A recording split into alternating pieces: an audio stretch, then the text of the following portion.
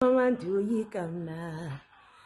amabhele amabhele ngamampembe imiwubu ngobuzwe ayazalana kunye nesizwe samahlubi kunye nesamandebele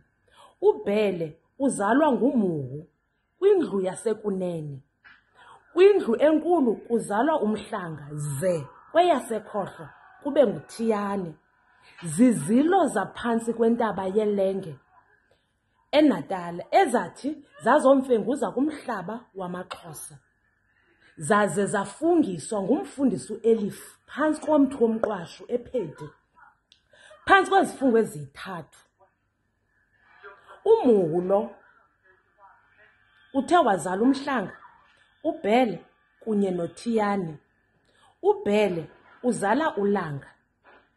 ulanga uzala untuli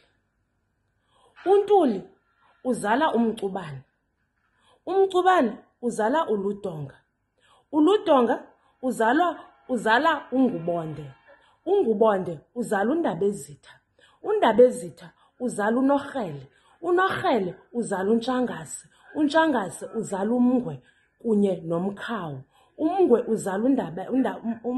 umbandeni umbandeni uzala umafu umafu uzala ukhuboni ukhuboni uzala udlambulu umamba kunye nolutshaba